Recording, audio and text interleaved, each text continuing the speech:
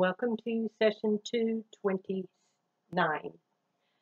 Today we are going to be working with logarithms. Logarithms is another type of function and it says that y equals the log of a x. It's log of x to the base a is how it's re really uh, pronounced. Log of x with a base of a. There are some conditions. a cannot equal 1, x has to be greater than 0, and a has to be greater than 0. You'll find this in a special box on page 497. Page 497. And you probably need to check out that box and make sure that you know it and that you can read it. Okay, there are two different types of forms. Exponential form, where it says x equals 2 to the y. The uh, logarithmic form is y equals log of x with the base 2. If you know those, then you can write in either form. You can change forms, such as 5 to the 6th equal 1,000, uh, excuse me, 15,625 can also be read 6 equals the log of 15,625 with the base of 5. They're interchangeable. I can write this this way or in logarithm form. So let's see if I can write this one in logarithm form okay? The exponent is right here. So that's 3 equals the log of the base is 5. The base of my exponent is 7 and 343. So if I want to write it in log form, just follow the pattern. The exponent is equal to the log base, the base of your exponent, equals your number. So let's try again. So in this one, I'm going to say what? The exponent, negative 2, equals log of base 7. I mean, this base 7 is the base, so that's 1 fourth.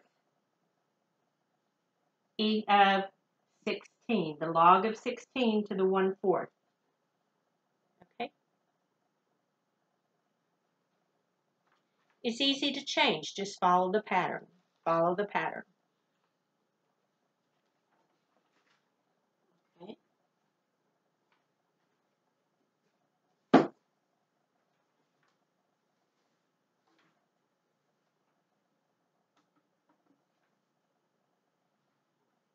I can go about it the other way too. The log of 4096 of base 4 is 6. So what does that tell me?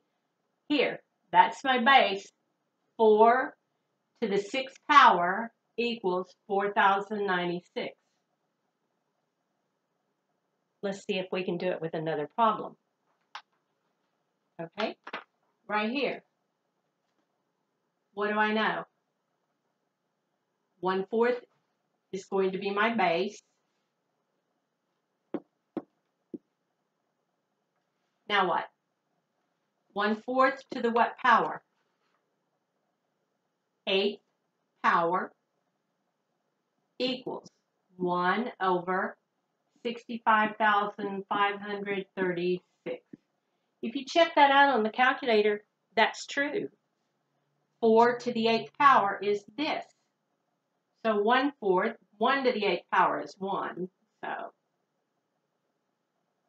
that's what you would get. 4 to the 8th power is 65,536. Let's try another one. Okay, let's say um, the base is 5. 5 to the fourth power equals 625. Is that correct? Try 5 to the fourth power. 5 times 5 is 25, times 5 is 125, times 5 is 625. Okay. Now, the next part, evaluate. Well, that means I have to find an answer. I can't just rewrite it. That's what we've been doing before in the other examples, is rewriting. Now I want to evaluate. That means I have to tell an answer. So here, what does this say? This says 4 to the, I don't know, whatever letter you want, 4 to the x power equals 1024.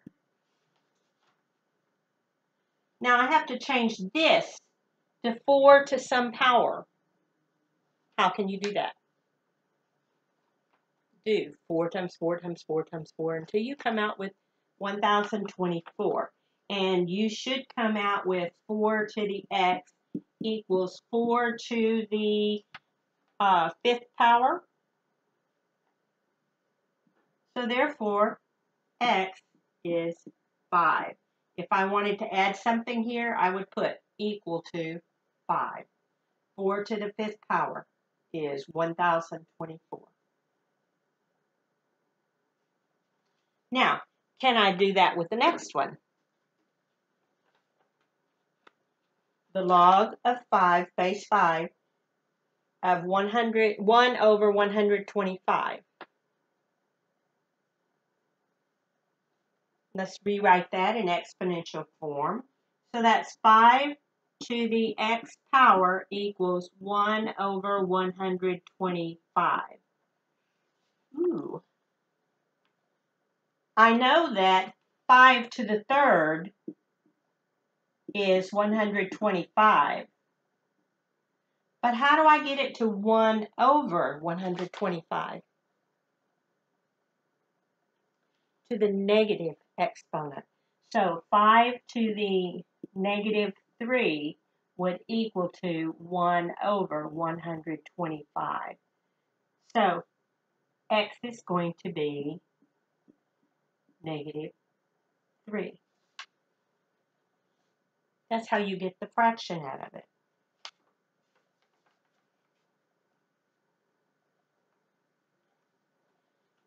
Fairly easy lesson with an introduction to logarithms. So really what we're doing is taking it from logarithm form to exponential form or exponential form to logarithm form. Okay, You can see this all on page 497. This is just another type of function that we have in algebra. Any questions? Call me. Okay? Otherwise, have a great day.